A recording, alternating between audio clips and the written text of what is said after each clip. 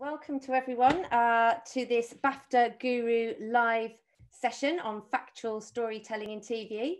Thank you to everyone out there who, oh God, I hope I didn't jump in too soon. What do you think, guys? I'll say welcome again. Welcome again to this BAFTA Guru live session, factual telling in storytelling in factual TV.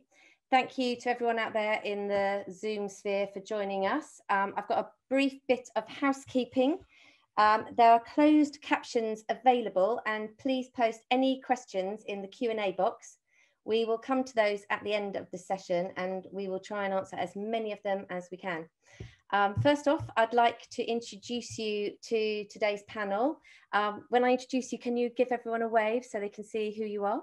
Um, first of all, we've got Yemi Bamiro, who is the director of One Man and His Shoes and TV's Black Renaissance, Reggie Yates in Hollywood. We also have Stephen Day, uh, who is an executive producer, and his credits include Race Across the World and 999 What's Your Emergency. We've got uh, Dan Dewsbury, who is another director, and his credits include The Mighty Redcar and Life and, Life and Birth. Um, and we have Claire Hughes, and uh, she's an executive producer, and her credits include Jesy Nelson, Odd One Out, and conviction, murder in suburbia.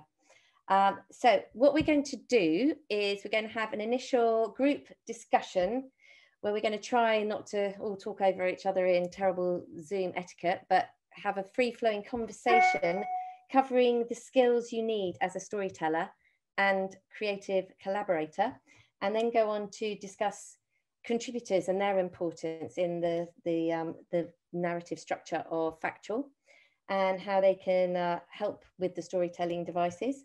Then we will delve into key projects for each of our panel. panel.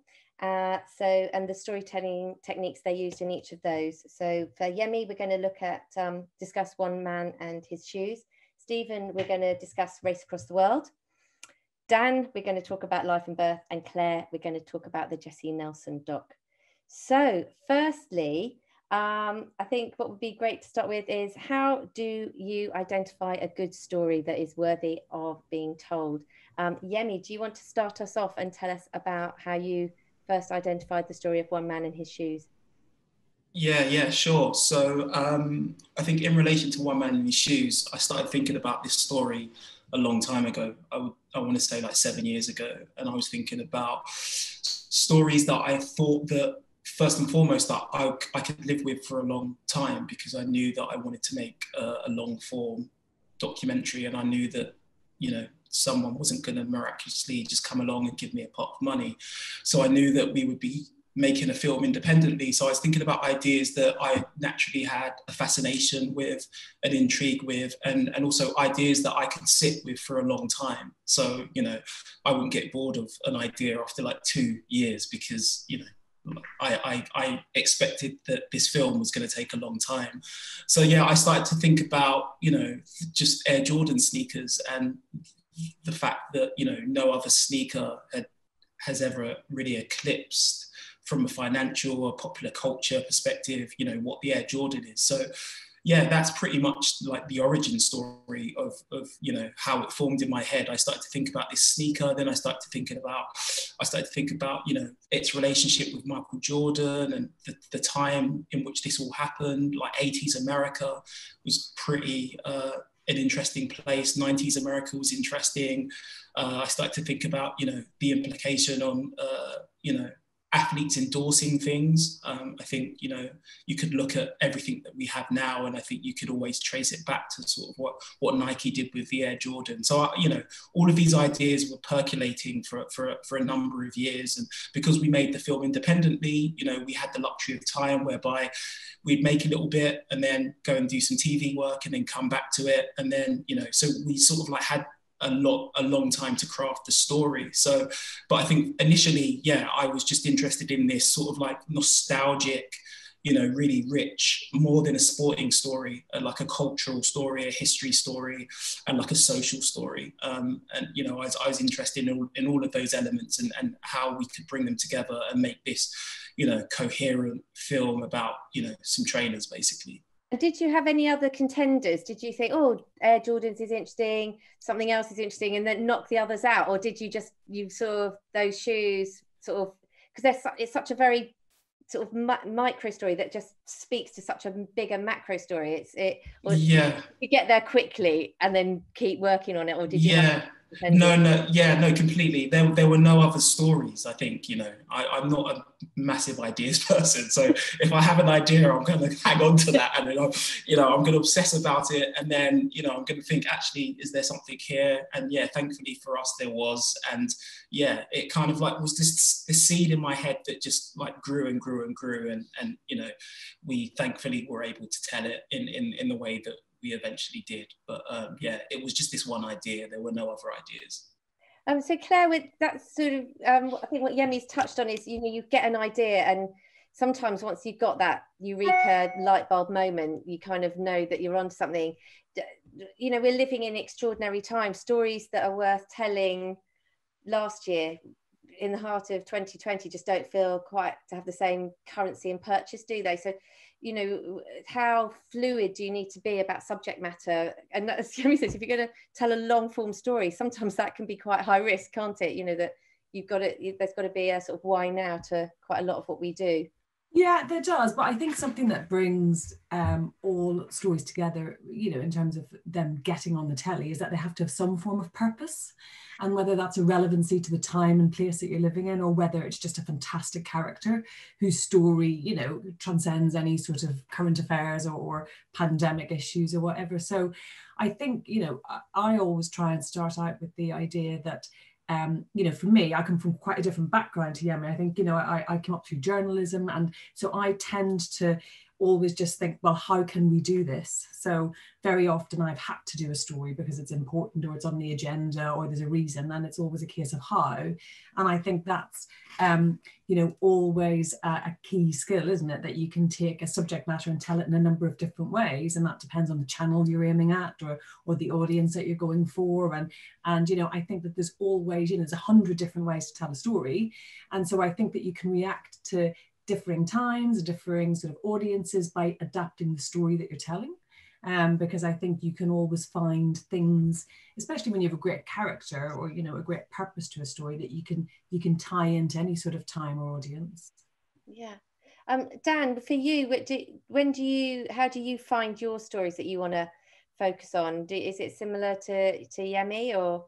Do you tend to come do you get given um, projects to make and then you have to decide like the tone or what you're going to do with it or is it a mixture of both? It's a mixture of both. I definitely hear what Yemi and claire are both saying and i kind of i guess in addition to that the things that i look for are are these places or precincts places of kind of high drama or um, and, and how empathetic do I feel towards the subject matter? It's a little bit like what you're saying, Yemi, in terms of you know how attached am I to to to the subject. Kind of also gives you an indicator of how how much you're going to put into it, and it's um, you know like in your case, it's a, it's a long time, isn't it? And um, and in in the same case when you're making you know a big series, you've got to know that you're going to it's going to be a place where where drama is going to happen, where where for want of a better word, kind of conflict is is is going to be inherently in there. Um, and I, I guess also in addition to that is relatability. I kind of always say with either to myself or with PDs that I'm working with, um, you've got to try and find the relatable, and and that that um, is really important in storytelling um, because if you don't I guess it's if you don't care, it, what, what makes me care about this subject um, is probably the same as what an audience is always thinking about as well. Um, Stephen, I was just thinking about your two projects that we referenced. Both yeah. of them are what we like to call big returners, aren't they? you know, they've been, yeah. had big impact, but they have to come back again and again and again. And particularly with 999, that's just such a fantastic story engine, isn't it? And you can tell a million stories through that that sort of that mechanic, which is fantastic. But again, with race around the world, you, when you're looking at ideas, are you trying to find ways that you can almost use them as a, a great well, a, a, story generator, and that's um, that's the kind of project that I look for. Both of those theories um, you know, um, supply that in spades. So I really um, that's exactly what I'm looking for. That it's not so much the story that I'm going after. You know, there's not one idea I've got or a passion I've got. It's more looking for a kind of setup or a premise. But within that, um, there's lots of stories to generate and recognize um, and follow if they're good. You mm. know, um, so it's quite different from everyone else, I think. But that's what I look for. Um, and then within that, I mean, I just think that um, the third, first thing about any individual story for me is just, do I want to know more? So um, if I want to know more, um, you know, then you just it's that investigative kind of sequence of events that will carry on. And um, you know, then you find out, you know, is there a drama inherent in this, or is there humour, which is, you know, for me is extremely important to um, get hook an audience in with humour. Um, so they're the kind of things I'm looking for in the story. Um, that was that was on my list was um, was tone. it's like once you've identified your story and your precinct, it's kind of that that it's the storytelling techniques you needed to be sort of maybe going, you know, finding the right tone of voice for each project to make sure they speak to that current tale. Do, do you want to um, maybe Claire to speak to that a bit? Yeah, I mean, I think you can always set out with a vision and an idea of what you think a story is going to be, but I think you have to be incredibly flexible because very often it doesn't turn out that way, and you know the story that you you thought you were making has you know become something else. Um, so you know, I think you can set the tone um, quite clearly in terms of filmic style and, and and all those things, but I think in terms of of tone you know you have to be adaptable um, and, sort of respond to the story i mean i made that series conviction uh, murder in suburbia yeah. and that was commissioned um, because it was the story of a, of a man in prison and uh, this charity called inside justice where um, you know campaigning well they were looking into whether or not it was a miscarriage of justice and you know it was commissioned because it looked as though it could be but as the as the filming went on, it became apparent that actually it wasn't a miscarriage of justice. And I mean, you know, what commissioner wants that? You know, a story of a guilty man who was correctly incarcerated. that, that became something that you know we very quickly had to think. Okay, well, we've got six months of material here you know and and you know there has to be a story made out of it and so i think i think um, you know you just have to be so adaptable and flexible in terms of your storytelling um, I, I, remember that film really well. You had the the um the presenter, the the detective. Uh, Louise Shorter, that yeah, yeah, who heads up Inside Justice. And you did you did a fantastic job of peeling back the layers so that you kind yeah, of. I mean, the story became the process. Journey, wasn't it? yeah. So the story became the process and the journey and the and the sort of the ups and downs, but it became a very different story to the one we you know we started out filming. Mm-hmm. Yeah, it's um, so that would you say it's the best laid plans, but you you sort of plan fail to prepare to fail and fail to prepare, but you do have to be very flexible. Um, that was one. I mean, I'll probably come to this with you, Stephen, in more detail in your section, but um, obviously, when, when you come back for series two of something, yeah. you're you you're sort of you've got a sort of set sort of journey to a degree, but um, part part of the fun must be that you can plan it, but you also you kind of want things to go wrong, but don't want things to go too wrong. Is that yeah, I mean, um, across the world, we had things go wrong straight away, really quickly. But we planned a lot, and if we hadn't, um, we wouldn't have been able to make either series.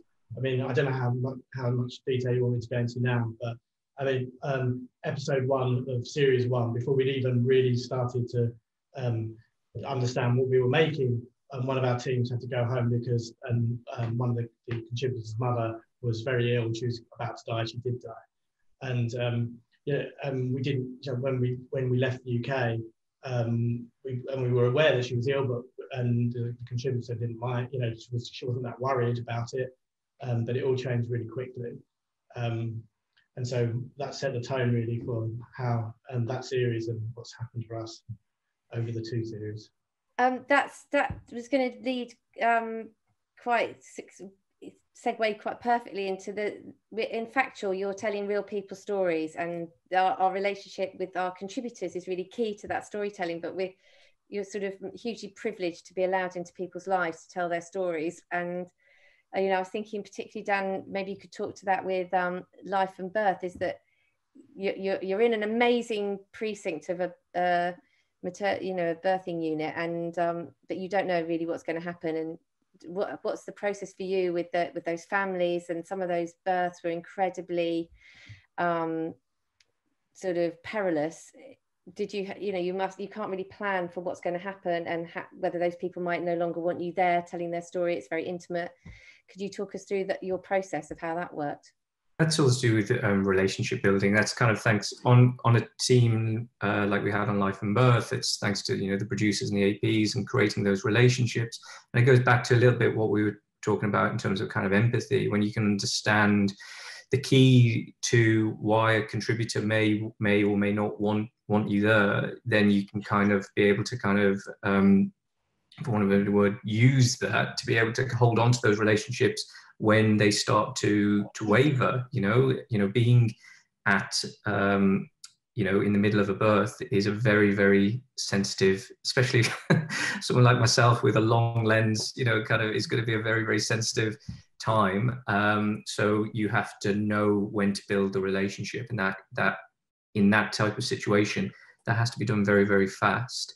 Um, but also, you know, you know, having those interpersonal skills to kind of be able to do that is a key factor in getting the right stories, being able to finesse story, and and knowing where those contributors are going uh, how they're going to be thinking is all to do with this this idea of kind of always understanding a your audience but b um, the people who you're filming because that will that will allow you to get more and more from them. I'm pretty sure everyone would agree with that um, yeah so uh, claire you had obviously a very sensitive um, contributor at the heart of the Jesy Nelson film. Um, I, am sure there was a certain amount of access agreed at the beginning, but uh, how did how did that sort of evolve and develop across the making of the film? And how did you manage manage to i mean because it was incredible access to her family. How did you manage that yeah, well, the the director of the film was a very good friend of Jesy's actually, and I'd worked with her for a number of years, and it was him who brought the access. So you know, she there was already in place a very trusted relationship, and she trusted him um, and you know he was able to get you know this amazing access to an incredible story and i don't think she would have told it to anyone else right. um, but you know as the the project went on then you know when it got it got into the edit um, you know there were times when my job was to you know sort of point out that the film might be better if some of the things that maybe they didn't particularly like and that made them both a bit uncomfortable were in. And that's you know there's always a bit of a creative tension there because i guess you know whose story is it? Who owns the story? Is it Jesy's story because she's given the access or is it the bbc's because they've commissioned it and you know my job was to sort of try and cut through and, and manage both of those to be honest yeah. and to try and, and help get the best possible story, which sometimes wasn't necessarily, you know, the the most, you know, the the, the scene or the, the bit that Jesy wanted in. Um, you know, we can maybe talk about it a bit more later in terms of the detail yeah. of the program, but um, yeah, that the, the team obviously did a great job of, of bringing her through the process.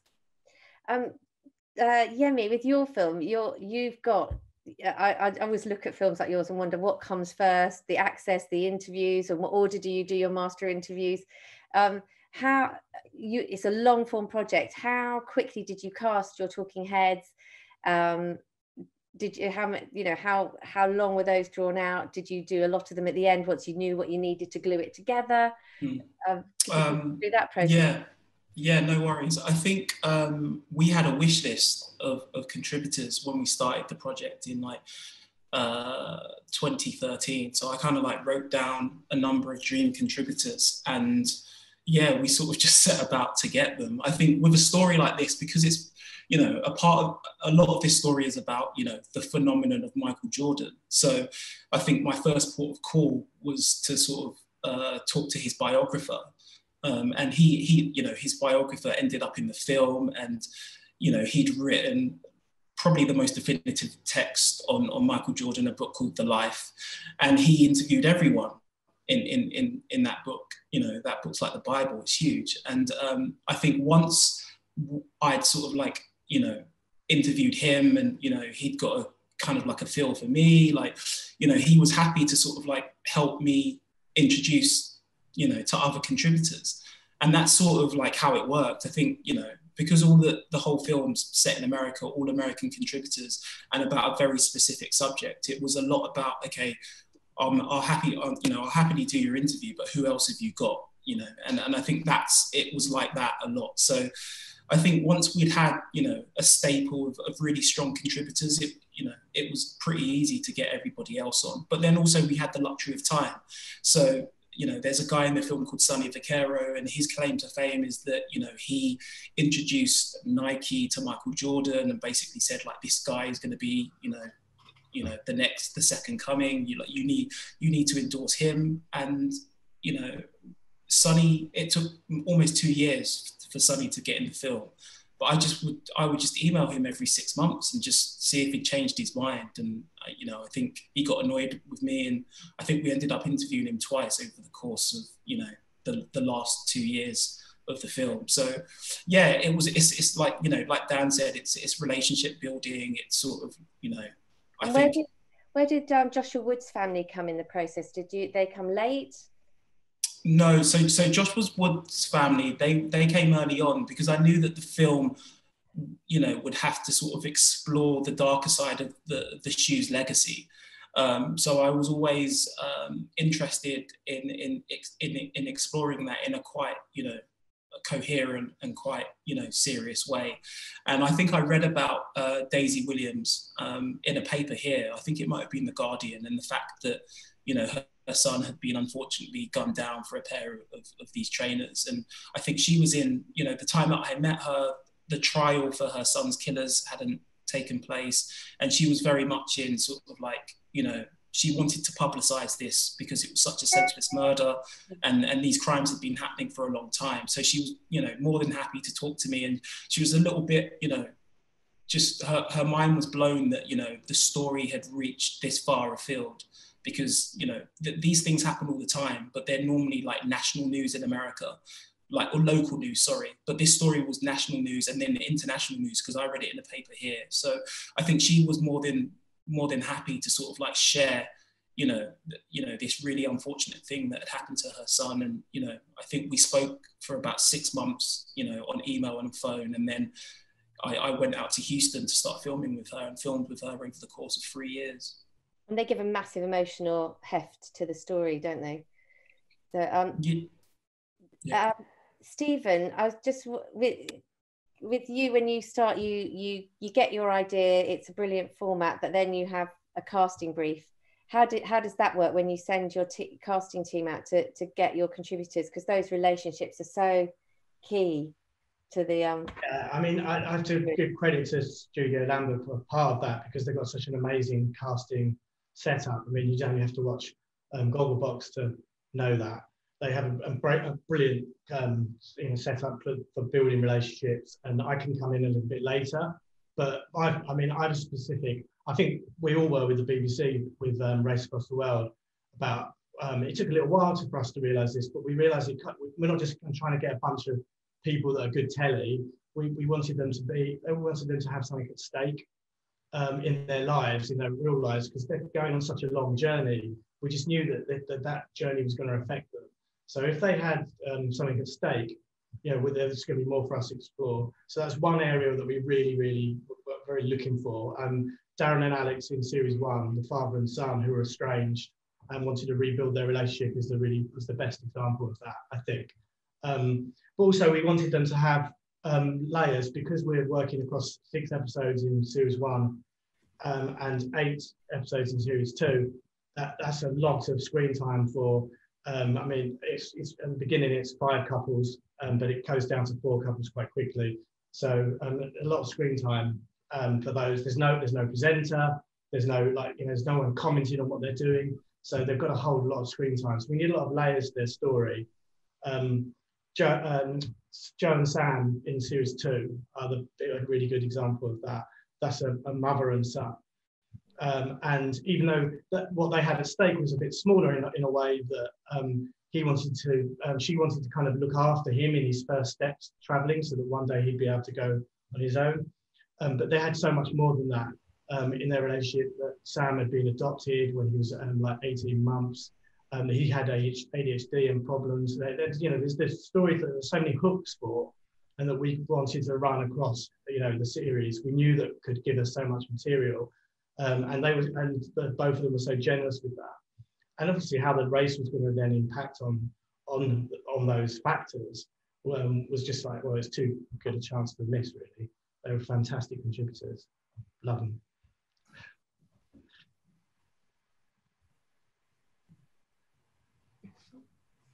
I'm muted, sorry. Um, uh, so we're going to talk in a bit more in depth, uh, Stephen, about Race Across the World now, if you don't mind. Um, obviously, uh, I, was, I was just looking at your pre-titles again today and how fantastically epic yes. it feels. And um, maybe do you want to sort of talk about that approach that you're on the one hand, you're sort of, it, there's such scale to the series, but there's also incredible intimacy and it's the marrying yeah. of those two elements in the storytelling is really, really um, interesting. I mean, the BBC really wanted to scale right from the beginning, and, and when you commission six episodes, and we know we're going to, um, you know, the, um, it takes 50 days for them to get from um, London to Singapore. That, that's there's obviously already huge scale inherent in that, but um, scale doesn't really mean anything without the context of the of the people, but giving that giving that sense of like huge scale. And I think that um, the, the, real crucial thing for us was like giving them agency in in the process as much as possible. And the more you believed in their journey, the more epic it became. So um, I, I, think that I'm, I'm not sure. Maybe Patrick Holland, who's um, controller of BBC Two, at the beginning said he wanted it to run off the rails, appear as it was going to run off the rails. This series, and um, I, and that really like stuck with us and so everything we did that was to try and make the um, the series feel like it wasn't running down a kind of normal fact 10 um, you know they get a choice to do this or that and move forward that, that actually they could make any decisions. You know, they, they all they have to do all we we really put in place was limited budget the kind of bones and at the end of each episode they need to get to a checkpoint a different checkpoint. That's all we want. It's quite a very soft format so every decision that they make is, is you know, they could go anywhere virtually within, like, say, kind of, they can't go to into Iran or something, you know, but like at that time, but um, you know, otherwise every every decision is their own, and I just think that gives it the sense of scale. And it's interesting you say about the the um, pre-titles because it's it's happened to me for both series now. Is that when we get to that stage, and we look at and we've kind of built a lot of the stories by then to be able to do the pre-titles, and I and I'm always like, oh my God, they did go on an incredible journey, didn't they? Um, we just we just see it, and that, and it is. I mean, it's a you know just huge in that sense. For, for the individuals, it's huge. It's not just about um, big pictures, which is an important part, but it's it's about like them. Well, they go on a journey. It's a race, but they go on a journey, and that's the important bit. So I can't hear you. So with your team, um, when sort of before you send your team out, just uh, do you have like a, a, a, shooting bible of the different kind of ways you want them to shoot things to so because everyone's off doing their own thing, so they all marry together and you get the sort of GVs for the sense of um, yeah yeah. So um, the way that we constructed the teams, we have several teams, was um, so that we could kind of um, represent that running off the rails thing as, as, as, good as possible and get the sense of epic scale with the, with the GVs and things like that. So um, we have embed teams um, that are responsible for shooting GVs as well. Um, I mean, like they're, they're so amazing, these teams, that they live that, that, that journey with them. Um, I mean, they're the one, they have to change their pants on the bus, you know, on an all-night bus and things like that just they do live it, and yet they're still having to get do all this extra stuff and get all these GVs. And I'm asking if they got them, and you know, um, and they're very good at. You know, they do do the pretty ones, the kind of picture postcard ones, but they're really good at those ones that um, making um, ugly beautiful, like making it really, really so we can smell what's going on and those kind of things, which I really like. So there's those the embeds, and also they have to be flexible. The, the APs, so it's a um, uh, PD and an AP. The APs can shoot. I mean, they often have to shoot, especially if the team's split up. And um, following them, um, we have often there's a fixer, but there's also um, uh, uh, data wrangler. And the number of times they have to pick up cameras as well. Particularly, it's like if they if they're jumping on a bus, um, if the teams are jumping on a bus, then it's like it's a data wrangler's um, job or if they're if they're hitchhiking, it's like data wranglers in the follow vehicle, gets them up and past and things like that. So the whole journey is being represented um, really close in. But then the other teams we've got following a week behind um, the, the, actual contributors, um, we have a GV team, it's a DOP basically, and we have to try to identify, he can only go one route, but um, we identify um, the bigger stories and send him um, to, to those. And he often he can drone and give us a, a big setup. Um, and then we have a checkpoint team. So that's another area that um, where we um, get a big sense of um, scale is the run into, we call it the run route into the checkpoints, which we try to design very differently each time. Um, so that they have a, I know, it could be different transport or one that comes to mind is where they have to race along the beach or get in a canoe on um, Ilha Grande in Brazil and to get to the last bit. And we've got that, you know, we always know it's going to be part of the soft format that they've got to do this bit. And we, we, we can plan ahead and we, we, you know, we use, we can use drones and things like that to make that look really epic. And we obviously, for the checkpoints, we choose beautiful locations. So. Um, we were talking a bit before about collaborations with characters that when you know that you've, you've cast your no, I'm unmuted. Um, when you cast those great characters, how do you drip feed those sorts of those reveals to their sort? You know, you've, you've got their geographical sort of journey, but you've also got their emotional journey. Uh, you kind of, if they're having those conversations like on the first night. you, yeah, well, we have to sometimes we have to stop. Or look, I mean, a lot of the stories we do several times over. So you know, and look for the exactly the right one. I think over a course of 50 days, that, that build a relationship with them that they don't mind doing that. But um, what I ask the, the um, embed teams to do before we go is plot out their kind of ideal so that we've got some sense of the stories we want to get get through. And, and even though that plan is almost invariably thrown out, it does give a structure um, and a, kind of basically a checklist so that we don't forget. And things change, and um, but you have to be selective. Yeah, I mean, don't blow it. Um, you know, I, am not a big fan of um, putting it all up front anyway. I mean, there was a kind of time where I, I remember that backstories would tell everything. Um, and and so and that then you only watch the people with that with that bit of knowledge interacting whatever they were doing. But I I, I, I like the idea that you want to you want to find out out more. You know, um, there's something about them. There's something you know. I think that I, uh, Joe and Sam we found out that he was adopted in episode two we didn't find out that she had had cancer a number of times. So episode six, I think. Emon, who eventually won it, he there was always this undergoing undercurrent about him um, falling out with his family and his, his nephew. Um, Jamil didn't know what it was, and we didn't really reveal it until episode five. And then we have revealed that Emon was married, which you didn't know before, and that was kind of part of the reason.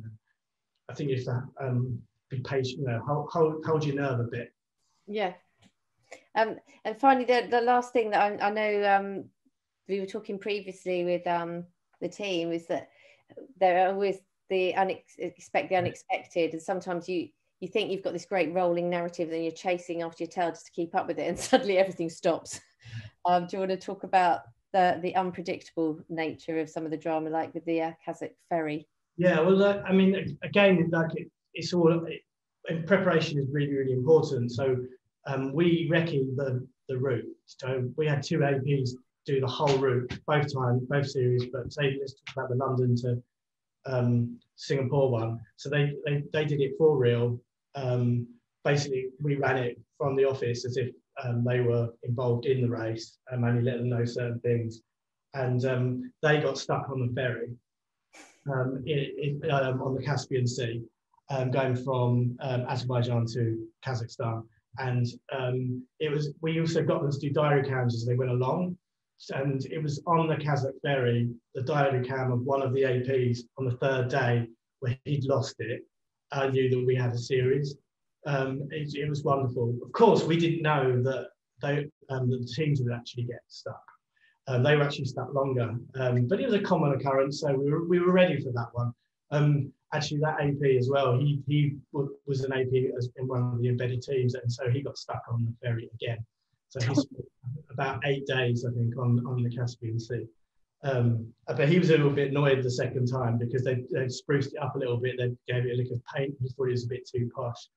But um, but um, that's kind of an example where we, you know, we kind of knew that was coming, and um, it was built into our schedule. Five days was a lot, but so it pushed us and really close. But um, in the second series, we couldn't foresee um, some of the, the, political events that happened, or I mean, there were rumblings, but we didn't know how they'd play out. And so Ecuador went into a state of emergency, and teams were already heading to a checkpoint there.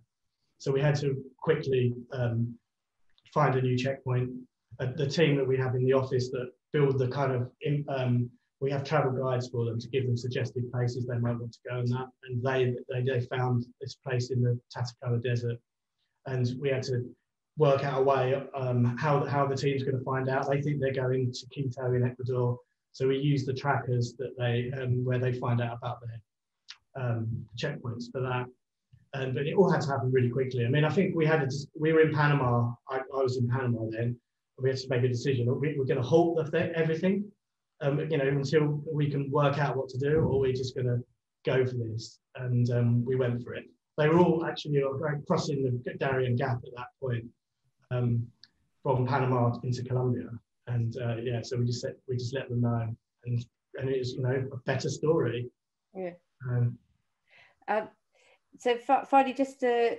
Uh, do, do, do you have any devices that you could share that you use in the edit that you you know you've got to make this go last for what's it eight episodes per series? It is for, for series two is eight episodes yeah, yeah which so, I was really scared about to be honest. I thought that was really that's really that's a lot it's a lot to keep people coming back for is it? So do, do you have any little sort of top tips about those those um, tricks for the hooks and those cliffhangers that you you sort of know that you've got I mean, towards those in each episode? I mean, it, a simple one is um, where we end the episode um, often we get like one or two teams into a checkpoint and um, I, I, there's often a good place where say um, two teams have got onto the island in Isla Grande but the other two teams have got stuck. So a, a nice you know, that's a good cliffhanger. They're really annoyed. Well there's two teams elated to be there two teams are annoyed. Um, and then the beginning of the next episode gets a lovely chase of the last of the other two teams to give you a bit of adrenaline at the beginning of the next one. Um, I mean, these are it's quite a soft format, um, Race Across the World, and they're actual pleasure, though very hard to edit. Um, and often it takes a while to find, especially within the central section of the episodes, um, those kind of like things that keep it moving ahead. I mean, the, the journey does, but you've got to, you know, um, it's, it's a tricky one that, and you just got to keep trying stuff. Yeah, brilliant. Thank you, um, Yemi. Um, with your film, it has such a, its own um, sort of visual style and aesthetic. And how I've just been really interested with the, you know, you how soon did you get into the edit? What time did you decide to start linking stories together and get the the um the particular graphical style? I think and the the split screens and all that. It just feels like it's very accomplished and very personalized film. It's it's got to tell it just feels very unique in that way. How did, quickly did you decide with those, all those techniques and where did they come from? Oh, thanks. That's really kind of you. Um, we knew quite early on that we were going to have sort of like graphics and, and animation. Um, I made a short film, which was basically a version of the film in, in nine minutes before we made the feature. And that was, we kind of wanted to use it as a, you know, as a device to, to get funding. And that basically had everything that you see in the feature film in terms of like the visual language. So it had all the graphics, it had sort of, you know, the bespoke music, it had, you know, just the pace and, and the en- energy and personality. So I knew from quite early on that the feature film would have that. And, and it was, you know, for no other reason apart from the fact that, you know, we knew that we weren't going to have, we, we weren't going to be able to afford lots of archive footage, even though there's quite a lot in the film um, we knew that it would be impossible to clear some of the archive footage that we really wanted. So we just came up with the idea of you know animation and sort of like graphics doing some of that heavy lifting that uh, you know archive would have done. There's lots of stills in the film and you know it's the same premise. Um, it's really expensive to clear nba footage. So we knew you know years in, in advance that you know it just wouldn't happen. So we had to come up with a different device of how to you know replace that and, and, and make it feel as interesting as looking at you know really really good archive footage. So that's basically where the, the, the visual language came from. That's, uh, I have to say, it doesn't feel archive light at all. So you, have done a fantastic job with that.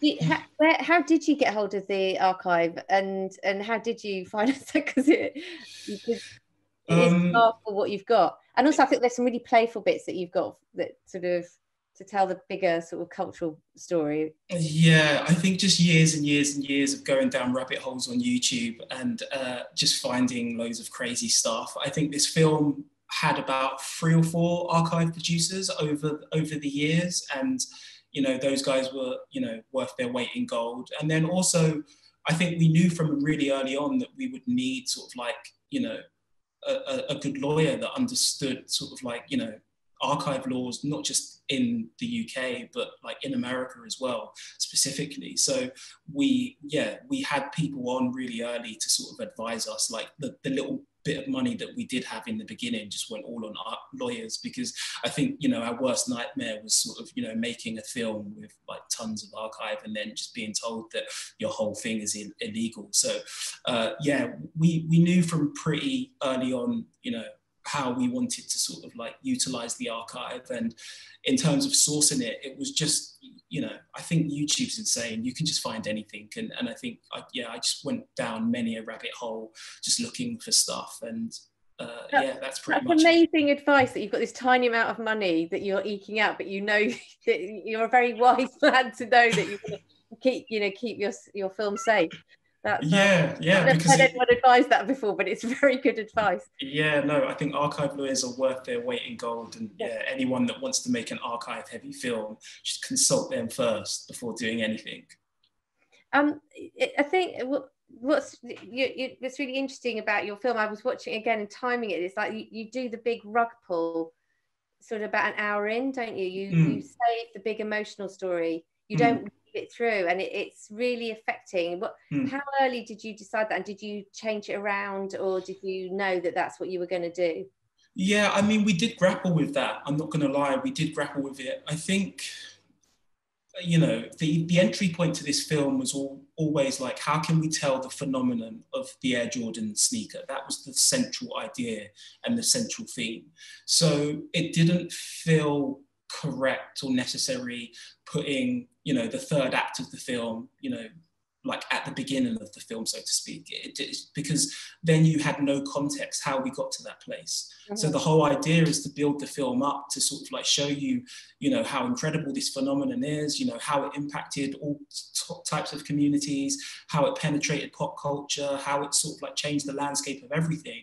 But this all came at some sort of cost because, you know, there was this other element that, you know, perhaps isn't well publicized but does actually happen. So it just felt like, you know, building blocks. It felt like, you know, telling this very linear, linear story. And it felt you know, I didn't want to revise or rewrite, rewrite history. I knew that, you know, as a filmmaker, as and you know, it was our duty to sort of like tell this story, warts and all. You know, there are sort of like sneakerheads or basketball fans that would have, you know, happily have sat and watched an 80, 90 minute film about, you know, just how incredible these trainers were. But it just felt like our duty to sort of like explore all the factual elements and and and, and just the, the complete history of the shoe and and unfortunately these senseless crimes and these senseless murders are just something that come hand in hand with you know the legacy of, of, of this of this sneaker so and um with you know the big obvious person character that's not there is um, Michael Jordan. Did you ever ever consider trying to approach him? Did you approach him, or did you go, no, this is the this is the, the film about his relationship yeah. with the sneaker that he isn't going to be in? Was that a yeah, yeah. I always knew it. You know, it, it's not a, it's not a it's not a story about Michael Jordan per se. It's a, it's a story about Michael Jordan's trainers and, and everything that surrounds that. So, and I think that, you know, if you have Michael Jordan in your film, you don't have Michael Jordan in your film as a talking head. Do you know what I mean?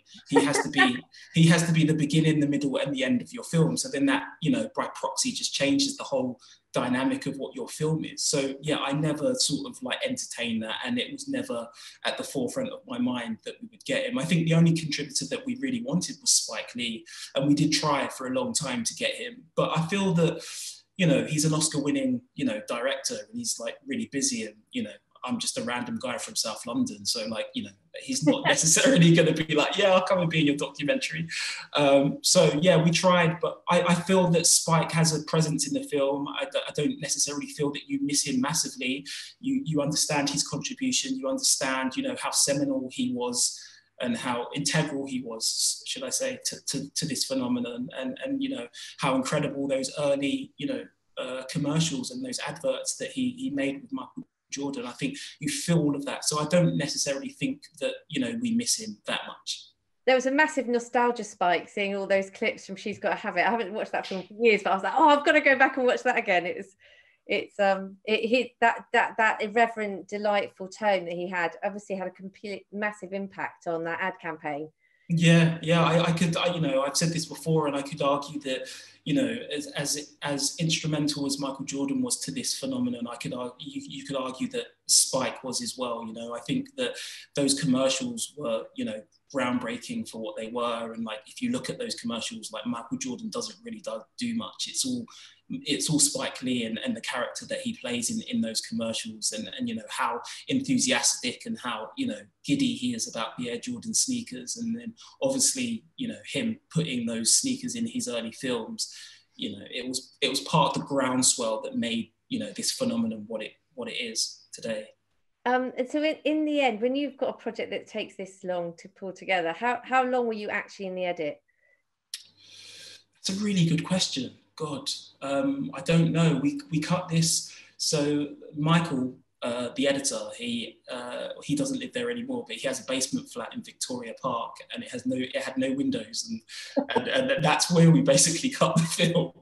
And uh, yeah, I don't know, like years, years, but like it wouldn't. It, the way that we made this film is that you know, we all work in TV. So we'd go and do a TV job and then we'd sort of like get some money and then we'd go and shoot in America and then we'd have like four weeks in the edit. And, and that's pretty much how we made it over the years. So yeah, I'm the next time I see him, I'm to, because here probably know how, how many kind of like weeks that we spent in the edit, but it didn't feel like a long time. Towards the end of the film, we were meant to launch the film at South by Southwest Festival Film Festival in March, and I think that we had to have a cut for the festival. And so the back end of last year, we were really like you know putting all like nighters to, to get the film film ready, and that felt long. But I think over the course of the years, you know, doing like three weeks here or four weeks there, didn't feel like a long time, and like you know, this never felt like a, it never felt like work. It, it, it, was just like a joy to make this film. I think the hard work was the, the rejection that we had over the years, you know, like funding falling through or like, you know, the, the falsehoods that come with independent filmmaking, that was hard work. But the actual like act of going out and making this film was never a chore. It was always like a massive privilege it's going to be hard for you now, isn't it, to, to get over that experience? Making telly.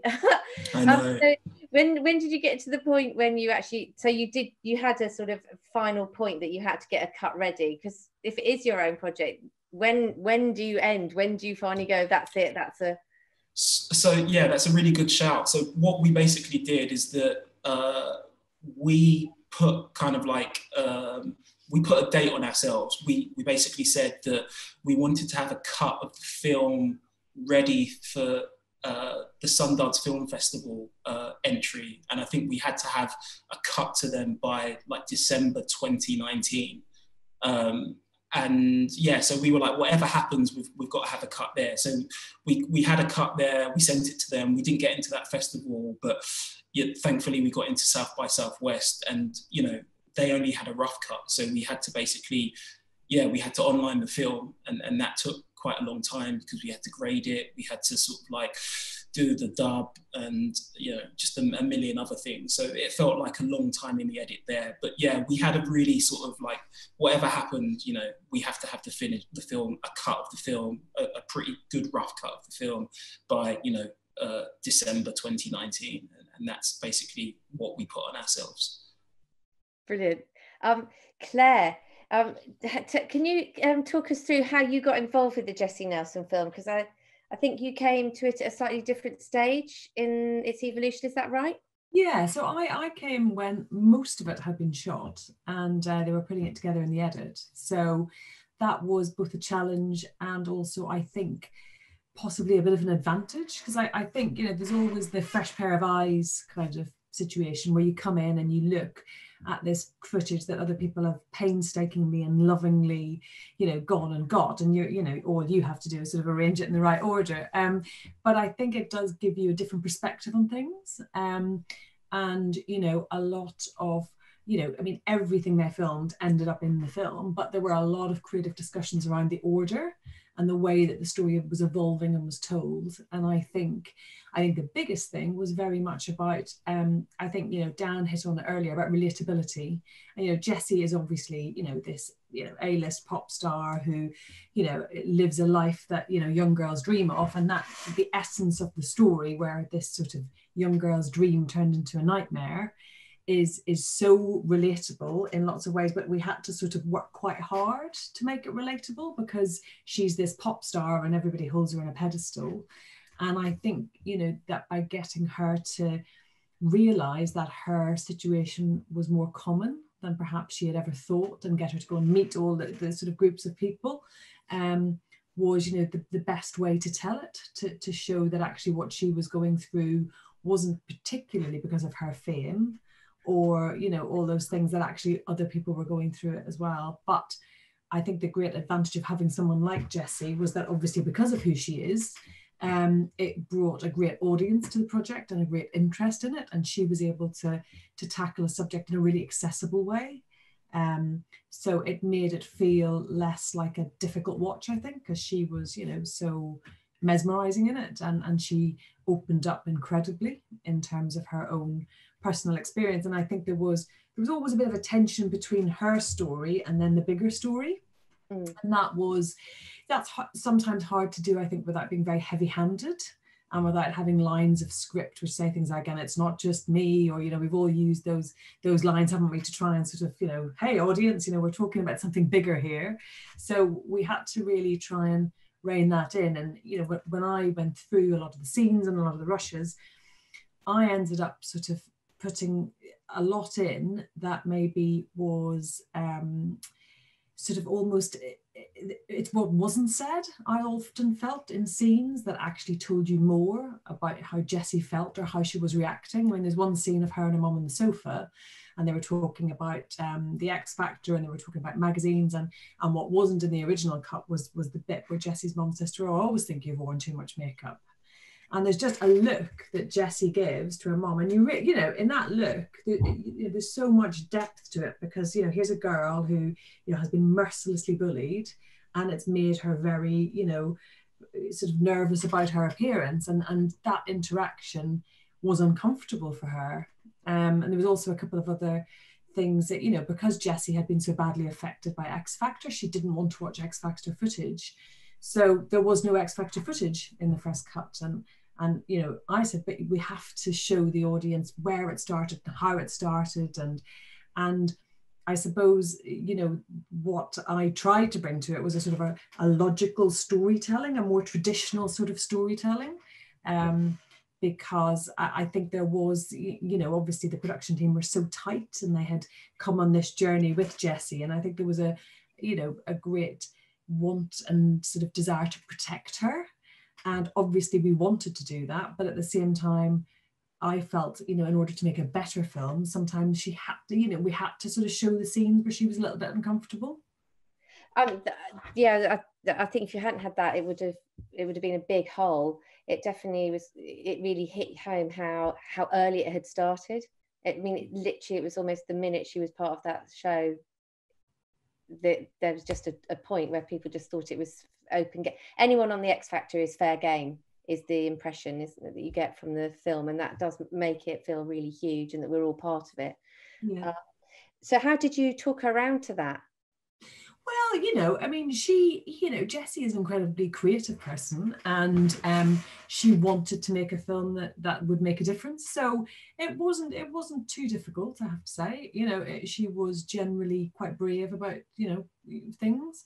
Um, I think you know there were um, other scenes where she, um, you know, felt that maybe we, you know, she sort of wanted certain things included because they were very important to her and sometimes there were details which maybe got in the way of the of the storytelling. So there was a little bit of debate, but it comes back to what I was saying earlier. It's it's a real sort of position of privilege, isn't it, to be able to take somebody's you know sort of innermost raw feelings and put them on TV. So it has to be a collaborative experience, and you have to work with people, and it is their story after all. And um, you know you can't just come in and sort of say, well, this is my vision of it. You know that there has to be the two visions. So um, Jesy was luckily very open to the fact that if you explained to her why you felt it would make it a better film, um, and you know, again, you know, it wasn't maybe quite the story arc that everybody wanted. I mean, at the end, we'd have loved to have said Jesy's now better. Look, here's TV. It's all very neat. She's been on this television journey, and she wasn't great at the start, and now she's better. And of course, that didn't happen, you know, because life isn't like that. But she did you know, learn a lot from her experiences of meeting with people, and she did gain a lot from it. And she certainly became more open and talking about things helped her. But at the end, I mean, she says herself, you know, there's still some way to go. Um, and so there's that scene you have when I think they're all getting ready for another shoot, and that was I just thought that was a really that's a it's a show not tell scene, isn't it? Where you see that she's still hugely struggling with body image and it, it was that a battle to get that in and is that sort of what you you're referring to as well? I thought it made it a stronger film. Yeah was that the one in there where they were shooting the pop video? Yeah. Yeah. Yeah and interestingly i mean that was in in lots of different guises that scene because it it sort of i think it was in initially as a you know sort of isn't this great you know this is her life it's terribly glamorous but actually when you watched it you realized that you know, if you played it at a certain point of the film, when you'd got to know her, you realized that, you know, all her anxieties and all her insecurities were still there. Um, and that she, you know, was doing her best to be brave and to to say all the right things, but actually they were still there. Yeah. So yeah, there was a bit of debate about how that would be cut, but never that, you know, it, it was always going to be in there yeah i thought that i really liked that scene and i think it was you're absolutely right it's exactly where it's placed made it have if you'd put that early it would have just yeah. Exactly. I, yeah and i think you know in our edit i'm sure like everybody's edit you know it was just post-it notes. And you know the, the idea that you know one scene could what if that scene moved there? What would that do to you know to the story? And it, sometimes it made such a profound difference in terms of the experience of watching that it was you know really you know interesting. And there were lots of disagreements or you know and the commissioners thought one thing and we thought another. And, and actually in the end it all sort of ended up in the order that we all wanted it in Brilliant.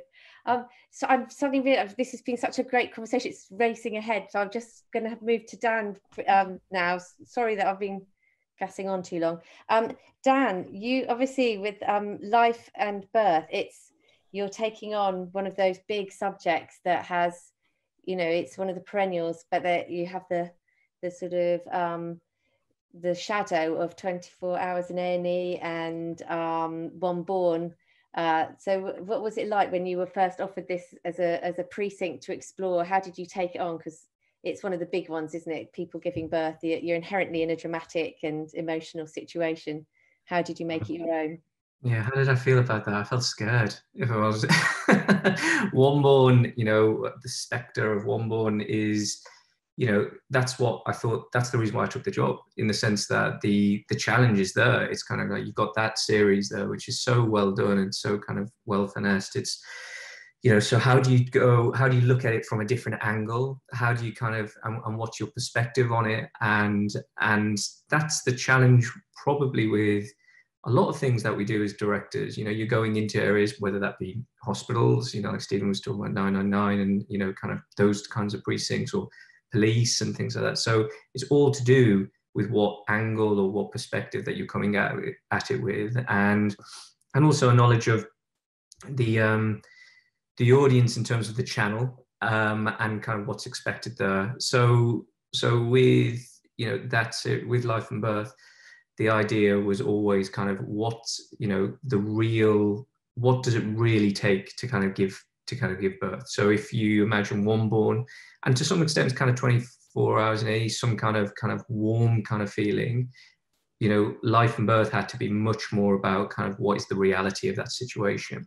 And within that, over time, kind of looking that, you know, the, the series honed into be, for me at least, to be about the strength of of of women really and and in, in terms of kind of you know and and the power that that you know that they, they must have to kind of to bring new life into the world. And and what also came from that was that if you going back to what i was saying before about empathy you know th- one of the biggest things that can happen to you in your life uh, you know is giving giving birth you know to to life.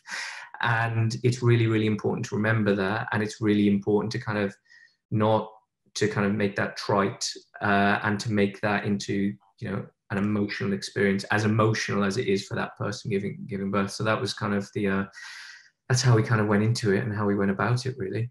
And and so you with the series you you had how many episodes was it in total? Was it six or seven? Six in total yeah. Yeah so you've I'm, I'm imagining you've got lots of teams on the ground following lots of stories. How much did you precast? Did you did you know that there were certain birthing stories that, that were likely to come through or was it sort of waiting around waiting for someone to be yeah, that's, that's, a difficult one because sort of yeah Sorry, yeah because we had because we had to kind of start it pretty fast. So it was kind of like i think it was three weeks before three or three or four weeks before. So you know we had people who had worked on things like that before who were kind of casting and that would be rolling kind of casting.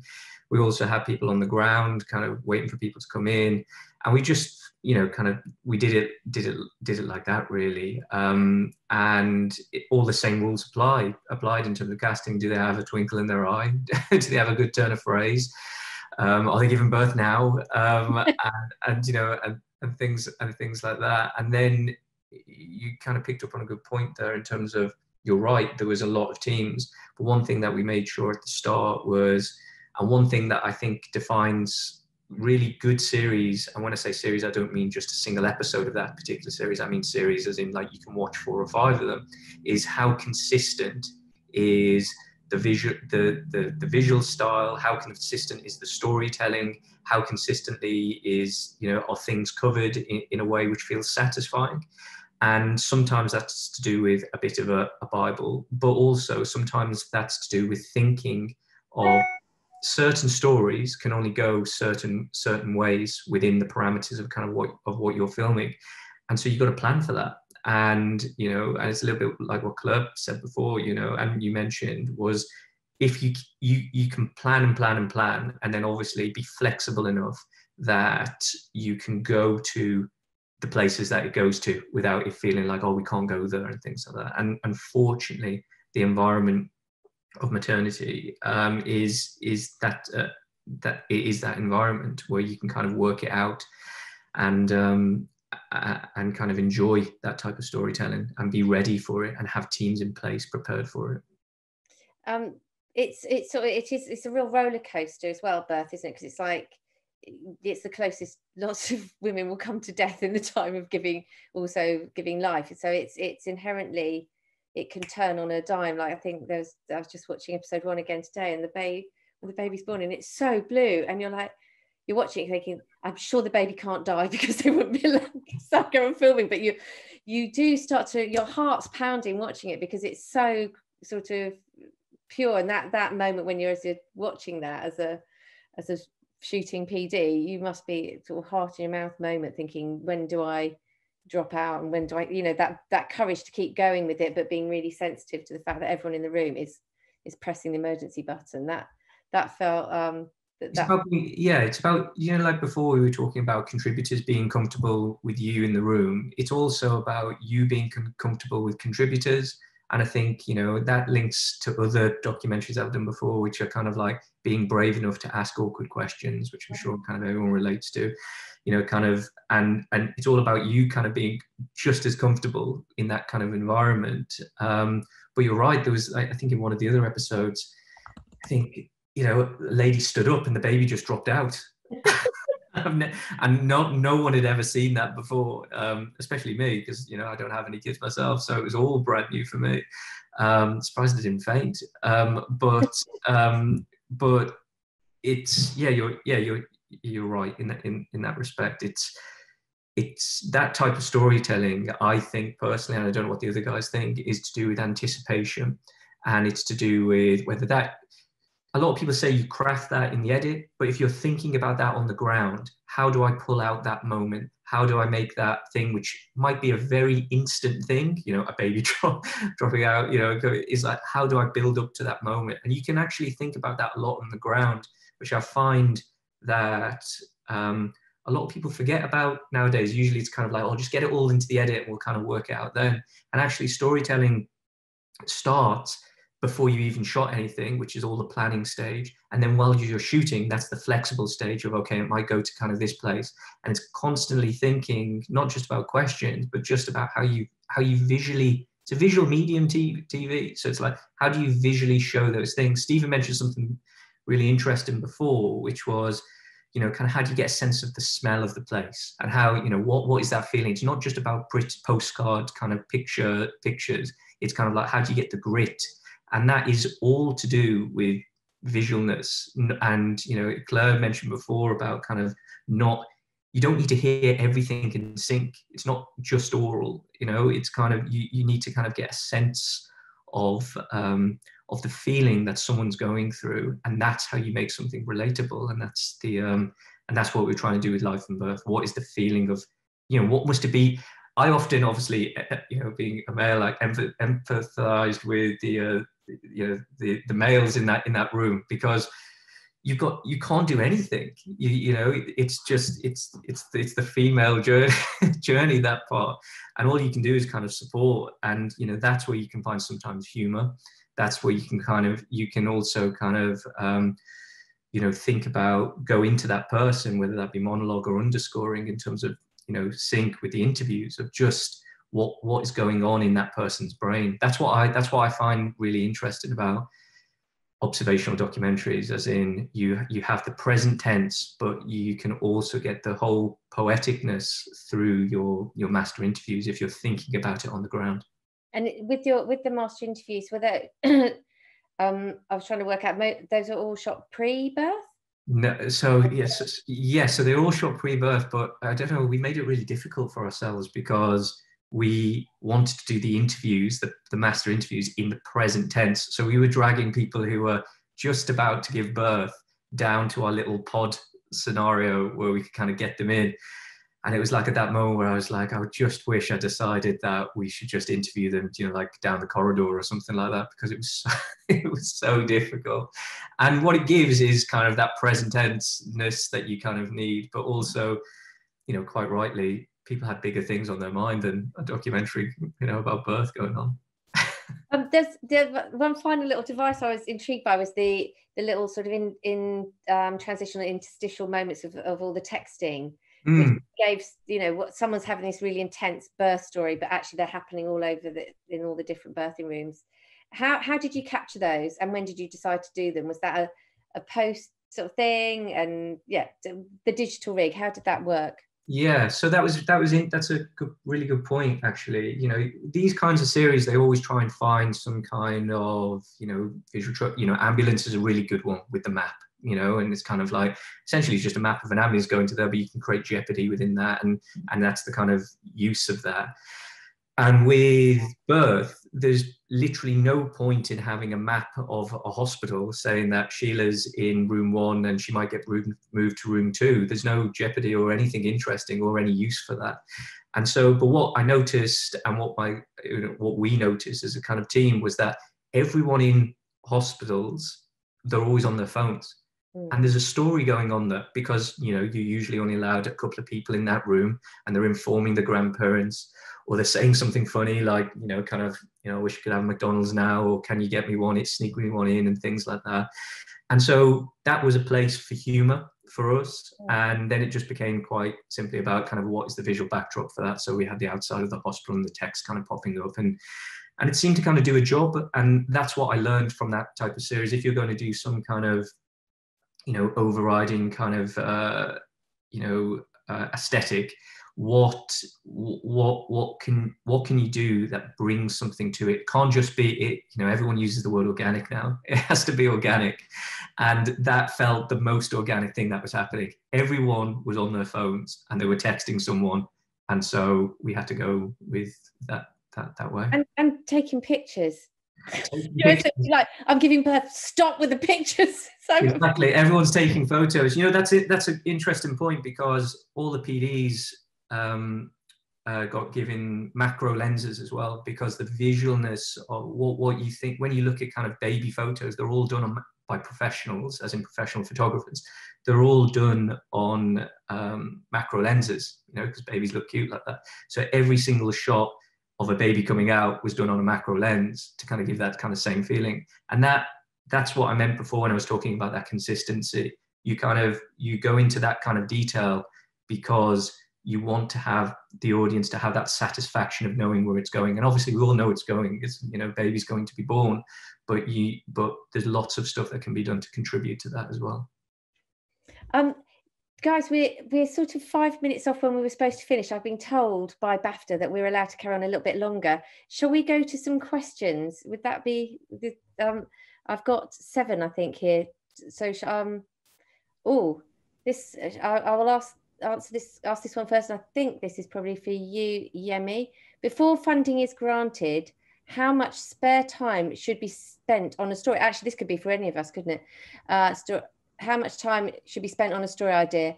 Are things like research time, emailing, acquiring contributors only begun once funding is gained? That's a very good question. When do when do you when do you not just be a paragraph? When does it become a full development? Um, Stephen, do you want do, do you, how much are you involved in the development process, and could you speak to that? Normally, I mean, development has come some way along, and then I, how we can actually make this, but funding's already in place, so I'm probably not best yeah. to answer. Um, Claire, can you speak to this one? Yeah, I mean, I've been involved in a fair amount of development, and I think it's a bit chicken and egg, isn't it? Because before somebody's going to give you any money to develop something, they want to know that it's a good idea or that the access is in place. So inevitably, you have to do some work unfunded, always. Um, and you know, it depends on the on the project how much. But um, you know, the, I think there's always work that has to be done, and it has to be enough to get a commissioner or a broadcaster interested enough to then put you into paid development. Yeah, I've just on a personal level, I've run a lot of development teams, and I would say it's unbelievable the amount of work you do for free. and it's a it's a constant frustration. Yeah, and even when you're in funded development, it's generally not enough to fund the whole development. You always end up doing bits and pieces. Um, at the moment, the, the the advice we're always given is great title, short paragraph, just to get our interest, but then that will that will go to a sizzle tape, a bit of casting, nice treatment, possibly a front page poster. So that I would so that came from Reese Churm. That's a very good question. Thank you, Reese. Um, the, the next question is: What is the best way to fund a factual piece when you're making your first documentary? Um, Uh, obviously, Yemi, you've talked about that a lot. Um, Daniel, do you want to talk a bit about that? Because it'd be interesting, and then maybe Yemi can follow up on that for us. Um, I mean, uh, the first documentaries I made were kind of in, in university, so they were, you know, you just try and a bit probably what I'm guessing what Yemi's going to say. It has to come from a really passionate place, and you know, you you you want to just try, try and do it as cheaply as possible um, to kind of get it get it over the line, and then that's how you get. If you're passionate about something, you bring people feel that passion, even if it's a subject that's not you know that they might not be interested in they kind of feel that because you're passionate about it. And i think that goes i mean that's the only thing that i would say that goes a really long way if you know i'm sure you'd agree yemi right? Uh, yemi uh, where did you get where did you get your bits of seed funding from uh, it was it was pretty much this is funny it was pretty much self-funded self-funded um, we got a little bit of money from the bfi but the bulk of the money came from a person that I met in my NCT classes. Um, so yeah, like three years ago, um, before my wife was about to give birth, uh, we had uh, weekly NCT classes in Streatham, a church in Streatham on Saturday mornings. And I got talking to one of the, the, the expected dads, and he was a uh, Arsenal fan, and we had a lot of the same things in common. I told him about the film, and he said, "I, you know, he's like, I, I, always wanted to invest in film. And I thought he was joking, but every time I'd see him for a drink, he'd say the same thing. So then I introduced him to my exec producer, and yeah, lo and behold, he kind of wanted to invest in film and he put his money where his mouth is. And yeah, he basically helped us finish the film. Without him, it wouldn't have been finished. So that's the sort of like, you know, that is the the glory, the beauty, you know, the reality of independent filmmaking. It's really tough, and yeah, if you go to NCT classes, you might meet someone that has a bit of disposable income that's going to fund your feature doc. So you have you have to be in the birthing process in some way. in some way, yeah, definitely. I wish um, I found that story on Life of Birth. That would be good. Someone's in the birthing unit asked. um, I've got a question for you, Stephen. Someone says very specifically, this is from Mel K, and it says, How much experience do you look for in shooting APs for Race Across the World? I've only just started shooting, but have lots of non shooting credits. Um, but that's the non shooting AP credits, I guess. Yes, um, I guess, I mean, yes, yeah, lots of non shooting. Um, and we were looking for the thing with the the embed teams on race is that they have to be so flexible. So I don't think um, normally a, a, CV isn't the be all and end all. I want to meet the person and just understand how that how they might fit into the team because it's those units are like really really tight. Have to live in, in, in each other's pockets. So um, I would say that the, the levels of experience probably vary across. You know, I've got my most experienced AP, but the the um, the, the, fifth one in the you know in the fifth team is probably more like um, um you know could be seen as taking a punt, but like we've seen something about that person. So I don't think it, there's a certain level. It's really about you know it's not just about shooting. It's not just about the experience in other ones. Um, so will they fit in? Can it, will, will they match up with one of the PDs? So it's quite a lot of things. So I sh- um, they should just you know give us their CV really. Yeah. Well, there you go, Mel. Send send Stephen your CV. Um, the second question. This is a, this is a re- another question from Mel K, but I think it's a very good one. Um, Claire, maybe you could take this one. It's any tips for approaching contributors for a sensitive political documentary. A company is interested in my idea, but wants me to come back with access. Some contributors already willing to talk. It's the kind of thing where speaking out against the government can be risky. Thanks. So that's that's a challenging question. Um, I don't know quite how to answer that one myself, but Claire, do you want to have a go? Um, I mean, you know, that's what when I was a commissioner on Panorama, I used to go and meet everybody. So I would try and not do it on the phone. I would always try and meet them face to face and set aside time. You know, you're not going to meet somebody for 20 minutes, you're going to meet them for an hour or two hours. They're going to ask you lots of questions. You know, they're going to want to get to know you a little bit. And I think, you know, Dan talked a lot about this. It's about gaining people's trust. So I would focus in on one or two key people that you think would get you the commission. And I would ask them for a cup of coffee. I mean, a bit tricky in the COVID time, but hopefully, you know, soon enough and um, go and talk to them and answer their questions and give them time to think about it. I think time's really important.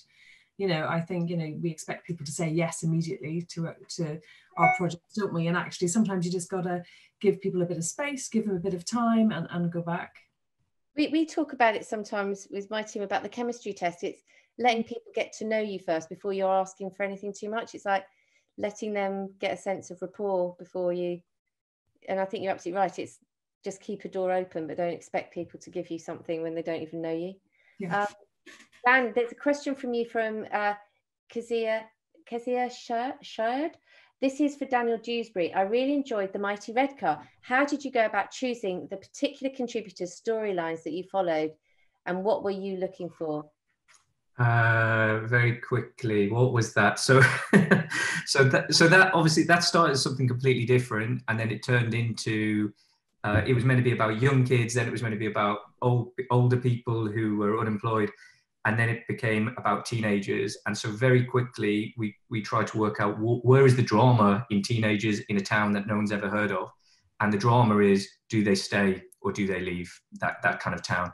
And the love that you have for your hometown versus the aspirations that you might have for yourself in terms of kind of potentially leaving that because opportunities might be small. And so that was the prism of how we went into casting every single person there apart from all the other stuff that we said before which is just like do they have a good turn of phrase? Do they have um, you know emotional jeopardy going on? Is there something else going on? Is there three part three kind of part arcs to the kind of story and things like that that we can plan out before all that apart and we, we just I love that you said earlier about the little twinkle in someone's eye. It's, it's that sort of uh, ineffable X factor isn't it that's totally you know what you know that's that's exactly right as it's just sometimes it's just a look or you just see someone from afar talking in a playground or kind of like or in a supermarket or something like that and you think you are there's something about you or in a, on a bus that's how we found one of the person i was like on a bus on a bus in middlesbrough and it was just that person's really interesting and then you just get talking to them and then you kind of think yeah you'd be uh you'd be good for tv um, this one's i don't know if this is a bit of a weird question because it's uh, it's sort of more a question we should be probably asking a broadcaster but um uh, maybe yemi i'll give this one to you. Has any have you ever turned down a good program idea just because you didn't feel a strong connection to the subject matter? Yeah definitely. Uh, yeah a lot. I think that directing a film, making a film, like you know, execing a film, I think it's all you know, it, it, consumes you. You sort of you live with this project, you live with the characters, you live with the subject matter for so long. So I feel that you know there might be good ideas, but you perhaps might not be a good fit for, for those ideas because of you know because you might not feel you know strongly about the ideas you might think oh yeah you know someone will do a better job at making that, but perhaps I'm not the person. And I, I just feel that, yeah, you, you can't be disingenuous. You, you just have to be really honest and, and, and just say, you know, perhaps that it's not it's not for me. I, I've done it plenty of times because I think that yeah, you know how hard it is to make an hour of television and, and, and, and how much goes into that and, and to make a series and it, it, consumes you and you live with it for so long. So I kind of feel that if you don't have a strong connection with it, because you know, just because you don't have a strong connection with it doesn't mean that it's not a good idea. It just means that you perhaps you're not the person to make it. Um, so yeah, I, I definitely agree with that, and I've turned down stuff before. Excellent. Good. Good. I think that's true. You have to give a lot to a program. So if you don't really like the subject, it's good to move on, isn't it? Um, Claire, uh, I've got one final question for you. But it's actually I'm going to put two questions together, and then, afraid guys, we're going to have to wrap up. I'm being told to wrap up. But Claire, this one says, I am a runner from Dublin and interested in the editorial side of factual and entertainment, and thinking of making the move to London. Would you advise on this? And then there was another one, which is a general advice for anyone starting a career in factual. So if, if well, Claire answers the one about Dublin, can everyone think of a one line answer to their key bit of advice that they would give before we wrap up? Crikey, I don't want to be responsible for somebody, you know, pandemic. Um, uh, but you know, I, I, mean, there's lots of work in Dublin. There's lots of work in London. Um, I made the move many years ago, but what I would say is I started as a runner um, in the uh, Ulster Television newsroom delivering scripts to the gallery, getting shouted at a lot, making a lot of tea, you know, and and I did that for three or four months, um, and then I got a break. So you know, everybody's break comes somewhere, so just keep at it. I don't think it matters what city you're in. You know, I started in Belfast, I went to Dublin, then I came to London. Um, you know, I think uh, just stick at it, and opportunities will come your way. I, I guess generally speaking, now more than ever, there's a big move to move programming, the makers, the money, the funding to tell stories about the whole of the country by people all over the country. So you don't have to come to London to work in TV is a, probably a very important message we should be yeah, putting out there. And I think the pandemic has made it even more possible to work, you know, remotely some of the time. And you know, you know, you could be anywhere uh, uh, especially if you work for Stephen on Race Across the World. Yeah. Um, Stephen, what any any final top tip that you have for the youngsters approaching the word world of factual? Um, I think that, um, Claire's already said it. Really, it's patience. I mean, it's just you've got to you know, the more experience you get, the more sell, saleable the skills will be. Um, and you um, you know there will be people that will listen to your ideas early on, but it's going to take a little while for um, people to believe in you because there's a lot of people trying to get in. So I just think patience, um, you know, um, and and just keep on learning. Actually, keep on learning. That's the better. That's the better one because I mean I, have been in it at it for thirty years and I learn every day still. So, um, Dan, any any top tips? Uh, one top tip was someone said to me that instinct whispers, it never shouts, and it's something that has always stuck in my mind. As in, because sometimes there's just something inside you that thinks, "Oh, I'm going to do that. I'm going to make that move. I'm going to take that shot. I'm going to ask that person," and that has always kind of um, served me well. That's a fantastic phrase. I've, I've literally written that down. Um, yeah, Yemi. Uh, um, I would say just be persistent and, and be curious and, and, and don't be afraid to be forthright. If you're watching something at telly and you know and, and, you like it, like make a note of the production company, the director, the producer, and, and then just look for them and, and then send them a nice email. I think we all like having our egos flattered. And I think that, you know, you, you don't wait for opportunity to knock, go and go and find it, I think. I, would like to sort of just throw in, you know, sounds really obvious, but work really hard. I love a grafter, don't you? Yeah, and also definitely. try and be nice. Being kind yeah. and nice is really can never be underrated, overrated, can it? Definitely. Um, be a good person. Um, anyway, I'd just like to say thank you to all of you, to Claire Hughes, Stephen Day, Yemi Bamiro, and Daniel Dewsbury. It's been a pleasure talking to you. Um, really enjoyable. Uh, before we say final farewell, uh, I've just got to give a quick plug to some upcoming events, um, uh, Guru Live sessions. There's a case study on Rocks, one of the this year's standout film releases with members of the cast and creative team on the 24th of November at 5 p.m. That should be fantastic. Please book in for that. Then on the 25th of November at 6 p.m., the final TV session is on Sky original drama Bulletproof, featuring on screen talent and creators Noel Clarke and Ashley Walters. So, um, those are both sound like really great events. Please do book in for them. Thank you to the panel again. Thank you for everyone who stayed with us. Uh, it was a really great discussion. Thanks all. Bye. Bye, guys. Bye, everyone. Bye. Take care.